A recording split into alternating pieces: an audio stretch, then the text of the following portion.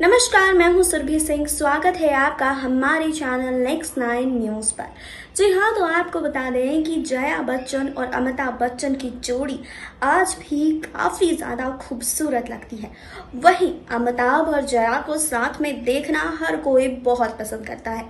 आपको बता दें कि अमिताभ बच्चन ने अपने टीवी शो कौन बनेगा करोड़पति में जया बच्चन को लेकर कुछ खुलासे किए थे, जिसको जानकर आप सबको भी ताज्जुब होगा। जी हाँ आपको इस रिपोर्ट में हम बताएँगे कि आखिर अमिताभ बच्चन घर पर अपनी पत्नी जया बच्चन को क्या कहकर बुलाते हैं और आखिर कौन बनेगा करोड़पति शो में उन्होंने जया बच्चन को लेकर क्या क्या खुलासे किए थे, क्या कुछ कहा था अपनी पत्नी के बारे में, हम आपको बताएँगे, लेकिन यहाँ नहीं, आगे इस रिपोर्ट में। सदी के महानायक अमिताभ बच्चन और जया भादुड़ी बच्चन बहुत ही खुशहाल तरीके से अपनी शादीशुदा ज़िंदगी बिता रहे हैं।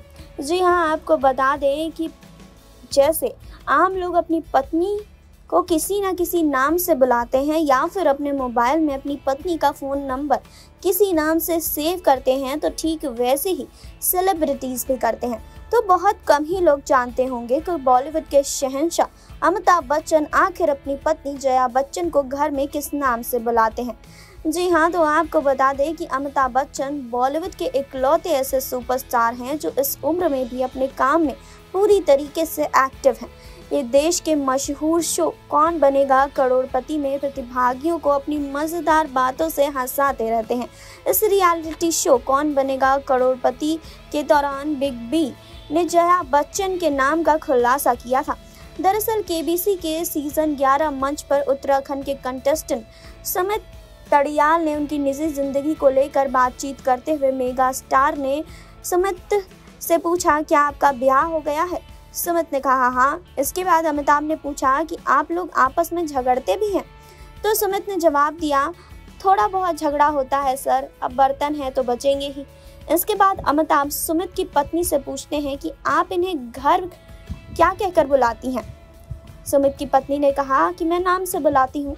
इस पर सुमित बताते हैं कि उनकी पत्नी का नाम उनके फ़ोन में सुनती हो के नाम से सेव है।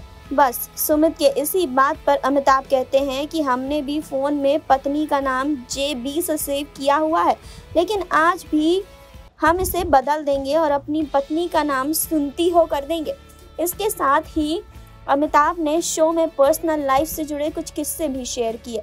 कंटेस्टेंट ने बताया कि गलती किसी की भी हो, माफ़ी हमेशा उन्हें मांगनी पड़ती है। इस पर अमिताभ ने उनका साथ देते हुए कहा कि हाँ ये बात एकदम सही है। माफ़ी तो पति को ही मांगनी पड़ती है। बता दें कि सुमित ने शो से काफ़ी सारे पैसे भी जीते। थे वैसे आपको बता दें कि प्राय यही देखने को मिलता है कि लोग अपने पार्टनर को वही नाम मोबाइल में सेव करते हैं, जिस नाम से वो उसको बुलाते हैं। ऐसे में ये कहा जाता है कि अमिताभ बच्चन अपनी पत्नी अभिनेत्री और राज्यसभा में सांसद जया बच्चन को घर में जेबी अथवा सुनती हो नाम से बुलाते होंगे, क्योंकि उन्होंने खुद केबीसी के मंच पर इस बात को स्वीकारा था। आपको बता दें कि एक वक्त ऐसा था जब अमिताभ और जया बच्चन शादी करने के लिए तैयार नहीं थे।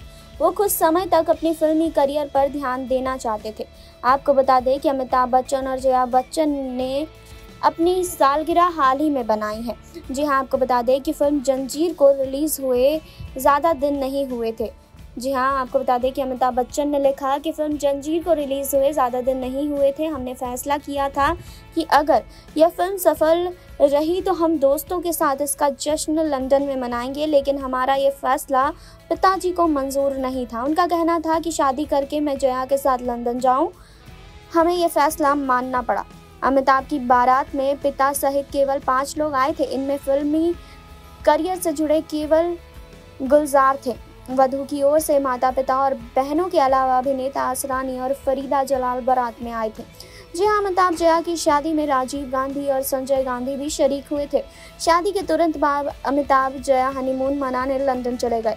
जी हाँ यह इन दिनों की पहली विदेश यात्रा थी। जी हाँ जया बच्चन ने कभी भी रेखा या अन्य किसी अभिनेत्री को लेकर अमिताभ पर शक नहीं किया। जी हाँ जया ने अपनी शादी का आधार विश्वास को बनाए रखा, जिस कारण हर मुश्किल घड़ी में वो एक दूसरे के साथ खड़े रहे। आपको बता दें कि शादी के बाद भी जया फ़िल्में करती रही। शोले फ़िल्म के दौरान जया माँ बनने वाली थी और इस फ़िल्म के रिलीज़ होने के बाद जया ने श्वेता को जन्म दिया। जी हाँ माँ बनने के बाद जया कुछ समय फ़िल्मों से दूर रही। अभिषेक के होने के बाद जया धीरे धीरे करके फ़िल्मों से दूर होती गई। जया का फ़िल्मों से दूर रहने का फैसला बच्चन परिवार का सामूहिक फैसला था। सत्रह साल बाद हज़ार चौरासी की माँ फ़िल्म में नज़र आई। जी हाँ वह एक तरह से उनकी दूसरी फिल्मी पारी थी। इसके बाद जया ने फिजा, कभी खुशी, कभी गम, कोई मेरे दिल से पूछे, द्रोण और लागा चुनरी में दाग जैसी फ़िल्मों में काम किया। अमिताभ बच्चन ने कभी भी जया को अपने फैसले मानने के लिए मजबूर नहीं किया था। जी हाँ आपको बता दें कि जया बच्चन और अमिताभ बच्चन की जो बहुत पसंद करते हैं। आज भी उन दोनों को साथ में देखकर लोग काफ़ी ज़्यादा इंस्पायर होते हैं कि अब तक ये दोनों एक दूसरे का साथ निभा रहे हैं। वहीं आपको बता दें कि अमिताभ बच्चन ने जिस तरह से के में, यानी कि कौन बनेगा करोड़पति के शो में, जया बच्चन को लेकर खुलासा किया कि वो जया बच्चन को आखिर किस नाम से बुलाते हैं। जिसके बाद सभी को पता चल गया कि जया बच्चन का नाम अमिताभ बच्चन के फ़ोन में किस नाम से सेव जया बच्चन और अमिताभ बच्चन ने अभी हाल ही में अपनी शादी की सालगिरह मनाई थी और अमिताभ बच्चन ने पत्नी जया बच्चन के साथ कुछ तस्वीरें शेयर की थी और लोगों ने इस तस्वीर को बहुत ज़्यादा पसंद किया था। जी हाँ अमिताभ और जया की जोड़ी आज भी सुपर हिट मानी जाती है। चाहे फ़िल्मों में वो सुपर हिट रहे, चाहे ऑफ़ स्क्रीन इस जाए, लेकिन दोनों एक साथ बेहद खूबसूरत नज़र आते हैं।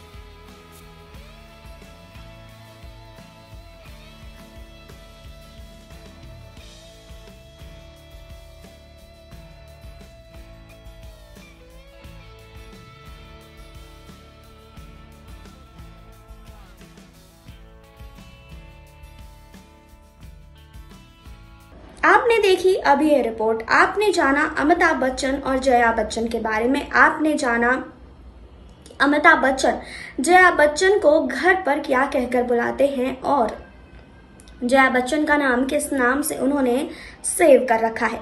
जी हाँ जया बच्चन और अमिताभ बच्चन की जोड़ी ऑन स्क्रीन जितनी पसंद की गई है ऑफ़ स्क्रीन इनकी जोड़ी को उतना ही सराहा गया है। आज इतने साल होने के बावजूद इन दोनों का प्यार बरकरार है। जी हाँ तो इस रिपोर्ट को लेकर आप सबकी क्या राय है? कमेंट बॉक्स में कमेंट कर बताइए। जुड़े रहिए हमारे साथ लाइक कीजिए सब्सक्राइब कीजिए और बेल आइकन दबाना बिल्कुल ना भूलें।